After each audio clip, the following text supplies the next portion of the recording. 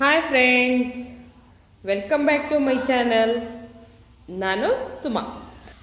ಬೇಸಿಗೆಯಲ್ಲಿ ಎಲ್ಲರೂ ಇಷ್ಟಪಡುವಂತಹ ಜ್ಯೂಸು ಇದು ಕಲ್ಲಂಗಡಿ ಹಣ್ಣಿನ ಮಿಲ್ಕ್ ಶೇಕ್ ಸಾಮಾನ್ಯವಾಗಿ ಮಕ್ಕಳಿಗೆಲ್ಲ ಜ್ಯೂಸ್ ಅಂದರೆ ತುಂಬಾ ಇಷ್ಟ. ಸೊ ನಾವು ಮನೇಲಿ ಈ ಥರ ಜ್ಯೂಸನ್ನು ಕಲ್ಲಂಗಡಿ ಹಣ್ಣಿನ ಮಿಲ್ಕ್ ಶೇಕ್ ಕಲ್ಲಂಗಡಿ ಹಣ್ಣಿನ ಮಿಲ್ಕ್ ಶೇಕ್ನ ನಾವು ಮನೆಯಲ್ಲಿ ಹೇಗೆ ಮಾಡ್ಕೋಬಹುದು ಅಂತ ನಾನು ಇವತ್ತಿನ ವಿಡಿಯೋದಲ್ಲಿ ತೋರಿಸ್ಕೊಡ್ತಾ ಇದ್ದೀನಿ.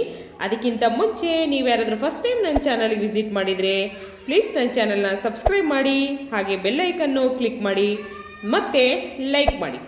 ಹಾಗೂ ನಿಮ್ಮ ವಾಟ್ಸಪ್ ಗ್ರೂಪಲ್ಲಿ ಮತ್ತು ಫೇಸ್ಬುಕ್ಕಲ್ಲಿ ಶೇರ್ ಮಾಡಿ ಫ್ರೆಂಡ್ಸ್. ಓಕೆ, ಈಗ ಬನ್ನಿ.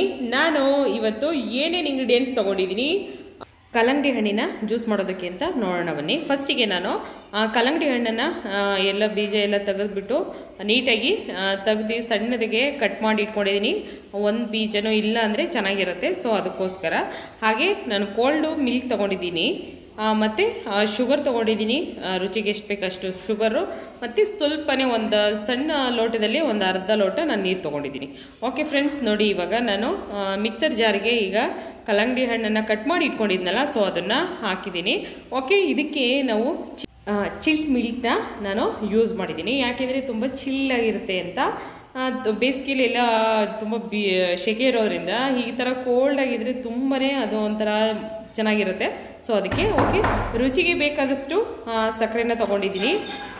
ನಿಮಗೆ ಬೇಕು ಅಂದರೆ ಫ್ರೆಂಡ್ಸ್ ಇದಕ್ಕೆ ಏಲಕ್ಕಿ ಕೂಡ ಹಾಕೋಬೋದು ಬಟ್ ನಾನು ಹಾಕಿಲ್ಲ.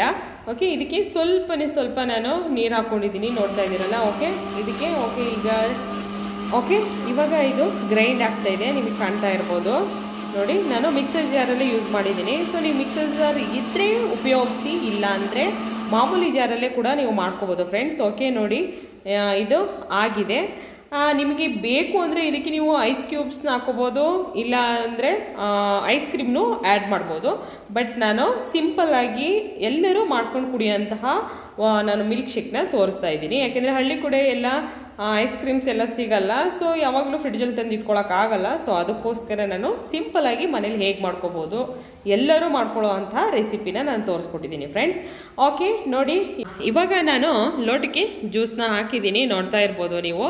ತುಂಬ ಸಿಂಪಲ್ಲಾಗಿ ಮನೆಯಲ್ಲೇ ಮಾಡ್ಕೊಳ್ಳೋ ಅಂತಹ ಈ ಜ್ಯೂಸ್ ಇದು.